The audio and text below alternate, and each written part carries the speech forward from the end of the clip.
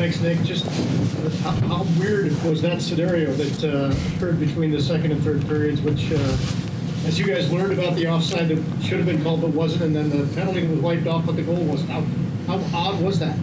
Well, I just think it's it's a bad look for the NHL to not get it right. So odd for sure that they have to take a penalty off the board. That it's called a goal. So it's, it's frustrating, but I mean you gotta you gotta move past it too. I mean we're we're in a game and there's adversity at all points of the game, so we had to be better and and uh, didn't find a way to do that tonight.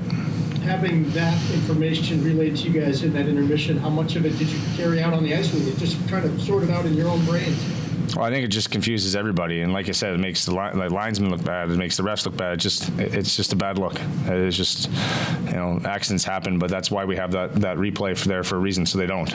And so that's the hard part. But again, you know, it's not why we lost the game. Maybe you can say it is because we lost by a goal, but uh, you know, it was, a, it was a weird game tonight. Thanks, Thanks. Okay, next we'll go to Jacob Myers. Go ahead, Jacob. Nick, um, Patrick gets two goals tonight. What, what did you see just on those power play units and the offense in general? Well, just, I mean, what a threat he is on that side. I mean, he's a guy, you know, you, are standing in front. Uh, you almost don't need to screen a shot. That's how hard and that's how accurate it is. Uh, that's what he brings, man. I mean, just see that in his third game with us. It's, uh, it's as advertised, you know. So it's uh, it's nice to see him feeling good and, and, and contributing in that way. And we're going to need that from him. That's why we brought him in. And, and uh, you know, he's, he's done everything we've asked him to do so far.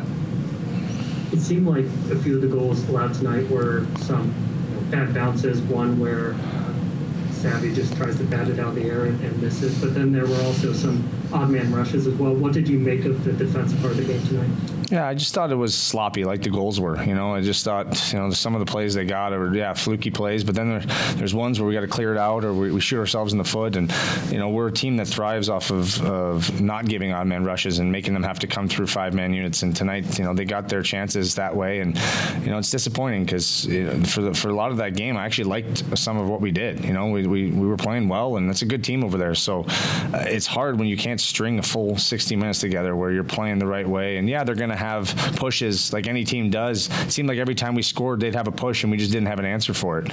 And then they, you know, they took over obviously off after that offside goal, and uh, you know, and we find a way to climb back in, but boom, they score another one. So it's just those are the momentum swings that we have to shore up in our game, and they're going to allow us to win more games than, than uh, being on the other side of it. Next, we'll go to Aaron Portzline. Go ahead, Aaron. were you guys like totally done with that offside call? In other words, did you start thinking about it in the second intermission when the referees came into the room? What was that moment like? How surreal was that? I don't think that happens very often. Yeah, I just, I mean, we we moved past it. We were killing a penalty, and and nothing you can do about it. Thinking they got the right call, and uh, we were shocked because we felt it was so obvious. So you know, it's disappointing, but you move past it because you got to kill a penalty, and, and that's just the way the game works. You just you keep, but then, you know, to see them take a penalty off the board and all that stuff, it just it's just like I said, it's just not a good look. I mean, it just get the get the call right in the first place, and I get mistakes happen, but like again, like I said, I mean, it's that's why we have that replay. That's why Toronto checks every angle, and it's shocking that they didn't get it right this time. Did you guys? Was there any conversation that you guys had? In other words, could, did you have an opportunity to ask them why the goal wasn't taken off as well, if that wasn't supposed to count? No, that's uh, Torts. Torts had his opportunity to do that, not us. Thanks.